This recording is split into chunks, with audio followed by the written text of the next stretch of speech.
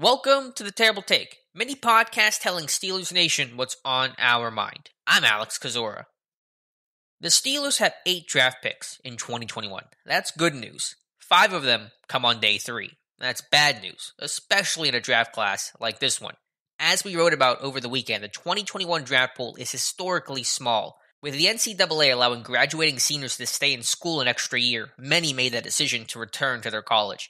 That shrunk the draft pool by about two thirds, and the depth overall, regardless of position, isn't great. Finding that diamond in the rough just got tougher. Combine that small class with less information, and it's a real guessing game once the draft pushes into Saturday.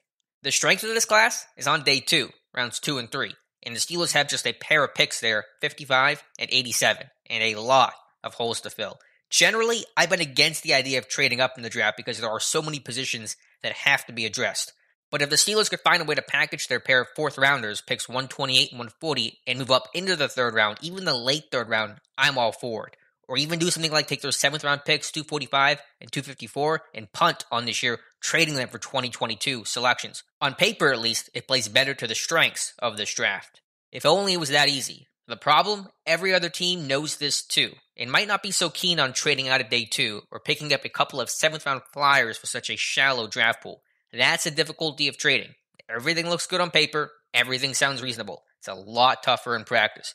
But the Steelers have their biggest pile of picks where the draft begins to taper off, and that's not an ideal spot to be. Be sure to follow us at SteelersDepot.com and check out episodes of The Terrible Take every weekday at 5 p.m. Eastern Time. And check out The Terrible Podcast with myself and Dave Bryan every Tuesday and Friday.